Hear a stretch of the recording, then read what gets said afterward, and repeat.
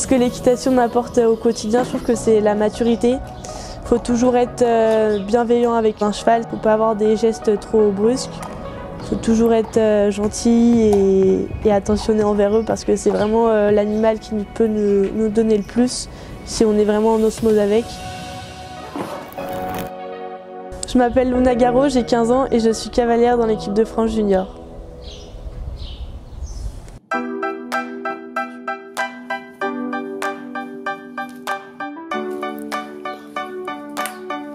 J'ai commencé à monter à cheval quand j'avais 3 euh, ans et demi, 4 ans je pense. J'avais un petit Shetland qui était ici qui s'appelait Rose dans l'écurie de mes parents. Et je faisais des tours de carrière euh, mais ça m'ennuyait un petit peu du coup euh, ils m'ont mis dans un poney club à côté. Et après quand j'ai grandi ça m'a un peu ennuyé parce qu'ils faisaient que du trot et je voulais galoper. Du coup je me souviens que de ça que je faisais tomber tout le monde parce que je passais au galop à côté d'eux.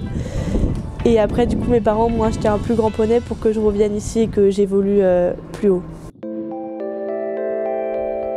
Les valeurs qui me sont chères, c'est euh, vraiment en premier le respect de l'animal.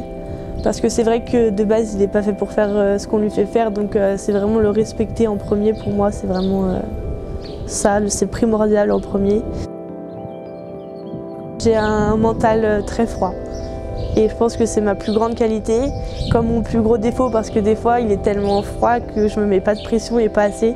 Il m'en faudrait même un peu plus pour que je puisse euh, gagner.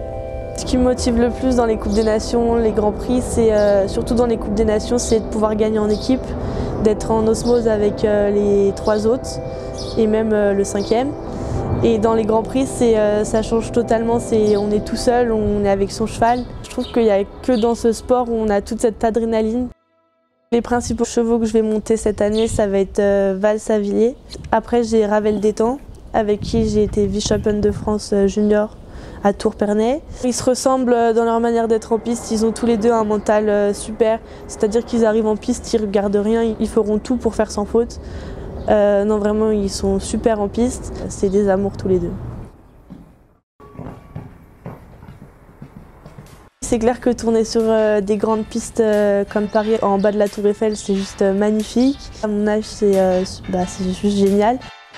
Luna Garo associé à Rabat Détang sur cette piste parisienne face à la Tour Eiffel, comme au On va souhaiter bonne chance à Luna.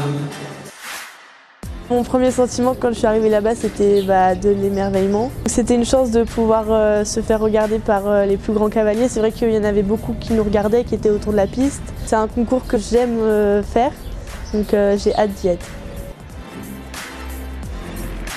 Très très beau parcours, sans pénalité pour Luna Garo et temps. Mes objectifs à long terme, c'est déjà d'avoir un bon métier. Je voudrais pas être cavalière professionnelle euh, en premier parce qu'on ne sait jamais ce qui peut arriver dans la vie. Donc si je me fais mal, j'aimerais vraiment avoir un plan B. Après, j'aimerais toujours continuer le sport de haut niveau à côté. Donc euh, dans une dizaine d'années, j'espère m'imaginer avec vous au même endroit en train de vous raconter euh, ma médaille aux Jeux Olympiques.